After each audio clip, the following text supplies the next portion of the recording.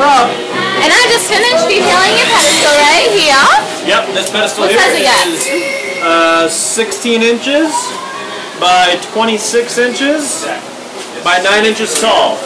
16, yep, that looks like it is correct. And it looks like we are sending it to an address on Jordan Avenue in San Francisco. Yeah. If that all sounds peachy keen, then don't do anything. And if anything sounds wrong, let us know ASAP so it can be sent out FedEx.